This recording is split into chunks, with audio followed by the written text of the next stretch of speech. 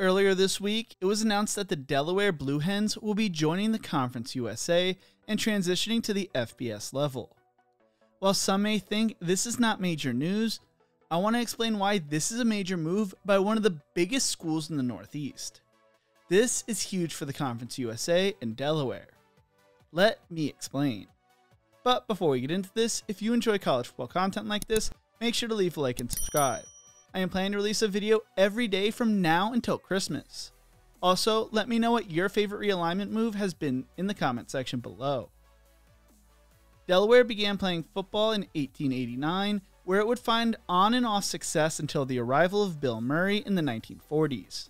When Murray arrived, the Fightin' Blue Hens were playing at the Division II level, and under him, they went 49 16 and 2, winning the 1946 Division II national title. Murray would be named the head coach of Duke in 1950 and was replaced by David M. Nelson.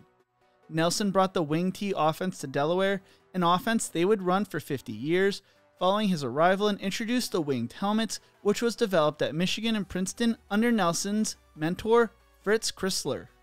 Nelson played for Crisler when Crisler was the head coach at Michigan, and Nelson brought the helmet design with him to every team he coached. Nelson remained head coach until 1965, compiling an 84 42 and 2 record, winning the Division II national title in 1963 over Kent State in their bowl game. In 1966, Harold Tubby Raymond took over as head coach after serving as an assistant on the staff, an assistant on the baseball team, and he would become the face of the Blue Hens football program for nearly 36 seasons. Things did not start off great for Raymond in his second season as they finished the year with a 2 7 record, but he would then proceed to lead Delaware on a dominant run. He perfected the wing T offense, racking up 300 wins to only 119 losses and 3 ties. He led the Blue Hens to 14 Lambert Cup trophies as the best team in the East in a particular division, four national semifinals, and three national championships in 1971, 1972, and 1979.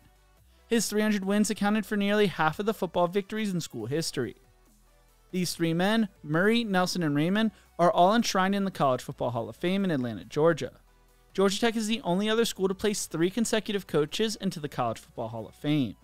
Throughout his career, he led Delaware to wins over Navy, Maryland, Rutgers, and Temple, putting together 60 wins over teams played at a higher level than them. There were always talks about Delaware moving up to the FBS level, joining the FCS in 1980 via Division II football. Yet they continue to find a lot of success and profitability at the FCS level, which paired nicely with their highly respected university.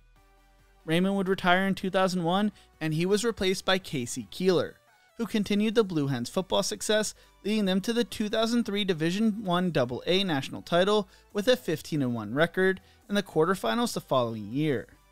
In 2004, Keeler told American Football Monthly, We're the LSU, we're the Georgia, the Florida of Division 1 AA.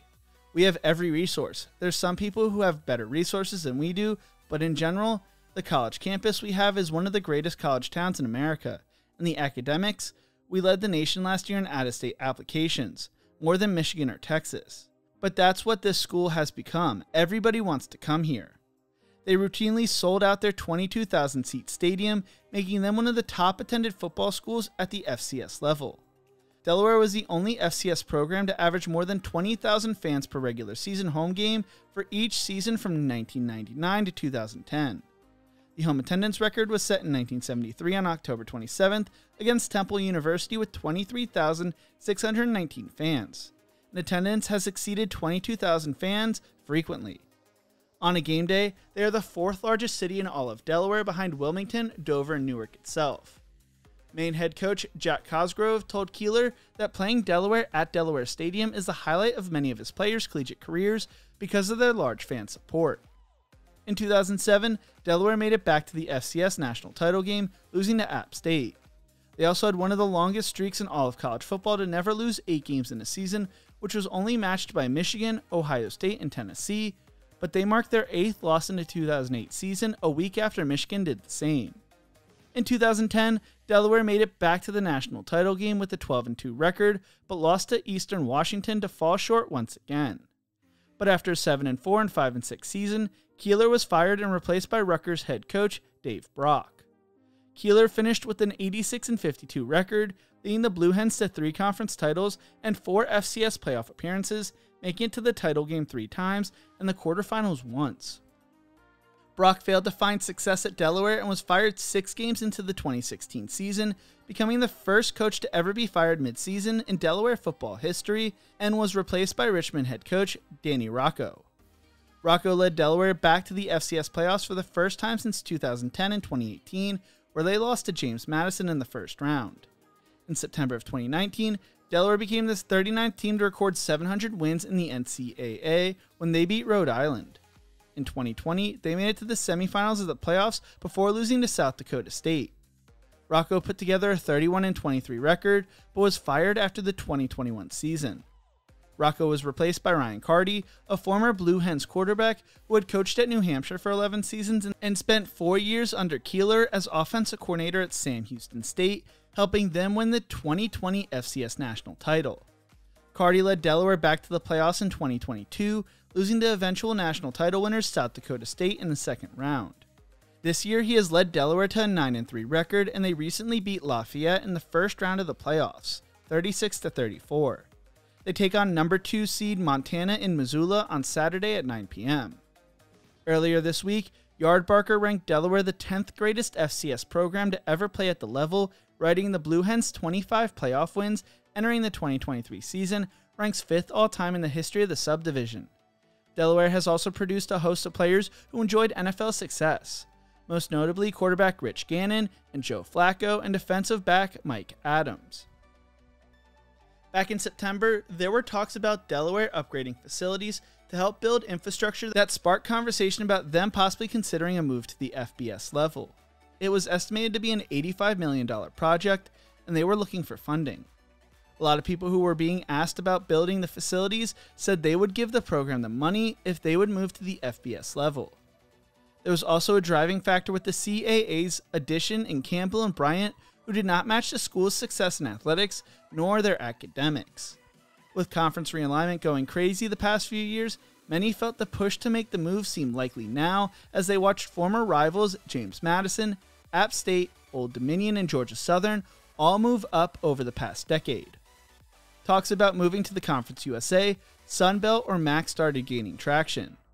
Back in 2022, Bennett Conlin named Delaware the sixth best team to find success early at the FBS level if they were to make the jump behind North and South Dakota State, Montana, Montana State, and Jackson State, who was coached by Deion Sanders at the time. Delaware Online's Kevin Tresolini wrote back in September it would certainly be a costly venture, with the addition of 22 scholarships plus other expenses. Title IX rules may also necessitate the addition of women's sports. Here comes ice hockey. For travel costs and academic mindedness, the MAC seemed like the best situation for Delaware. But earlier this week, it was announced they would be the first school paying the $5 million transition fee and would be joining the Conference USA for the 2025 2026 academic year. They plan to start making the transition in 2024, which means they will not be eligible for the FCS playoffs. The move has not been made official as of the time of recording, but many can expect it in the coming days. Delaware is one of the top universities in the Northeast, with many people from my area actually dreaming of and choosing to go there, and it is a massive move that many may not realize. This move will not just help the football program, but also will help the university as a whole. I could see them making a move to the American down the road. Carty could get advice for the transition from his former mentor and soon to be conference rival to help take his program to the next level. Like I said earlier, Delaware plays Montana this Saturday at 9 p.m. on ESPN Plus. What do you think? Is this the right move for Delaware and who will be the next team to transition? Let me know in the comment section below. If you enjoyed this video, make sure to check out one of my other videos YouTube thinks you will love right here. Don't forget to leave a like and subscribe for more college football content. Thank you so much for watching, and as always, remember to embrace the grind.